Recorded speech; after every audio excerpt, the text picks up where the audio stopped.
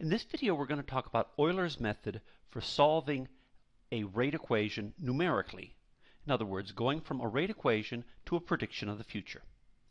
It has the fancy name Euler's method. I prefer to think of it as follow your nose.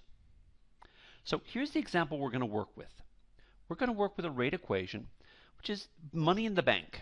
You invest money in the bank and it's paying 6% interest. And yes, I know that banks don't give 6% interest nowadays, but they used to, so bear with me. And let's suppose you start off with $1,000 in the bank. It's paying 6% interest, so it's growing at a rate of 6% of whatever you've got there. And we want to know how much will you have a year from now? How much will you have two years from now? How much will you have three years from now? And so on. So it's pretty easy to check that origin at time zero, you know, at the start of the process, y prime was 0.06 times 1,000, and that's 60.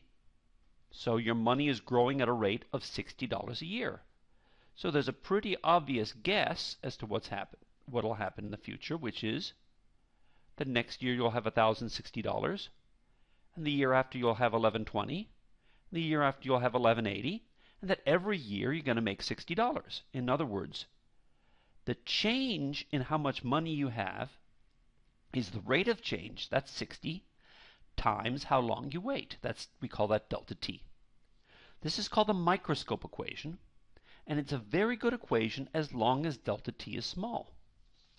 It's not such a good equation when delta t is large. See, here's the picture. The red curve is the actual graph of y as a function of t. The black curve says, suppose right now we're increasing at a rate of 60 and we keep increasing at a rate of 60 forever. That means the amount of money we'll have at time t is 1000 plus 60t. And you see the straight line and the curve aren't the same. And the problem was that the microscope equation pretended that the rate of change was a constant. That's what you have for lines. The slope is a constant. But in reality, the rate of change itself changes. So we need to take that into account. So the next best thing after the microscope, eh, sorry, the next simplest thing after the microscope equation is to use the microscope equation one step at a time. So you want to know what's happening next year? Okay, right now we have $1,000 in the bank. It's growing at a rate of 60. 60 times one year is 60, so we wind up with $1,060 at the end of the year. Great. Next year, we start off with $1,060, and we use this number to compute y prime. y prime is going to be 0.06 times 1,060, not 0.06 times 1,000, 0.06 times 1,060.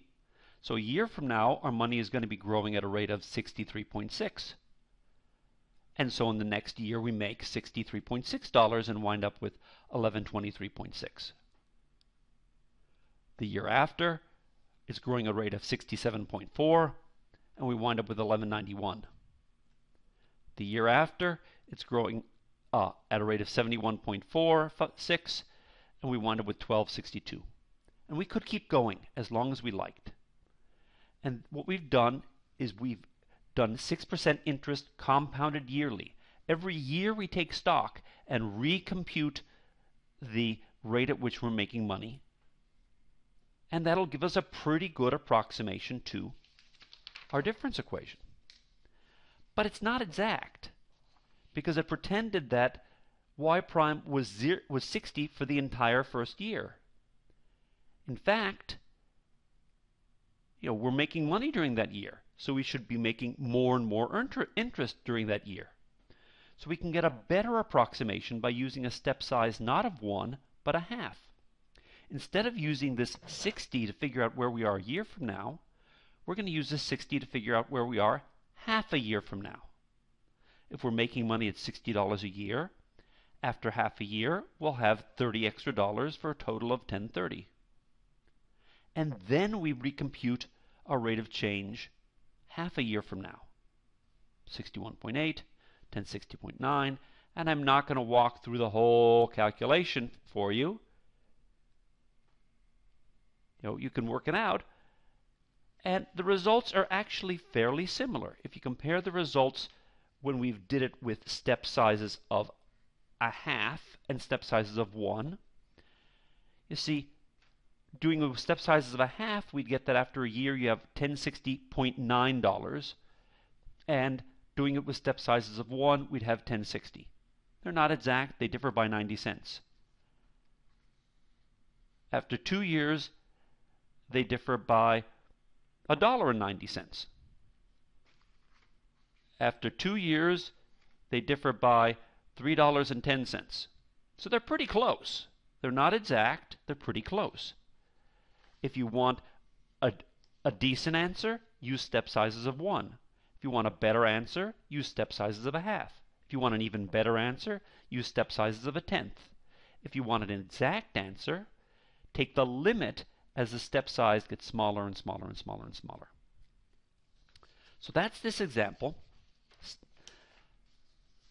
Now let's go and see what we want to do in general. In general, you have a rate equation. Now I've written a rate equation with just one variable. The exact same ideas work with multiple variables. You have a starting time. You have a starting value of your quantity and you get to pick your own step, step size. The smaller the step size, the more work you have to do, but the smaller the step size, the more accurate your answer will be. And then you're going to look at time t naught plus h, t1 plus h, which is t naught plus 2h, t naught plus 3h, t naught plus 4h. So if you have h equals 1, you're looking at things every year. If you have h equals a half, you're looking at things every six months. If you have h equals a twelfth, you're looking at things every month. And then you just iterative, iteratively compute. You compute the rate at time zero using your rate equation. And then you use that to predict where you're going to be at time t1. It's the starting point plus the rate of change times the amount of time that you've changed. Then you plug that back into the rate equation and get the new rate of change. And I put approximately here because this y1 isn't exact, so the right-hand side isn't exact, so this isn't exactly y prime of t1, but it's close. You plug that in to figure out what y2 is. You plug that in to compute y prime of t2, you plug that in to get y3. And in general, if you know the value at time k, tk, you use the rate equation to figure out the rate of change then, and then you plug that in to figure out what is y at the next time step.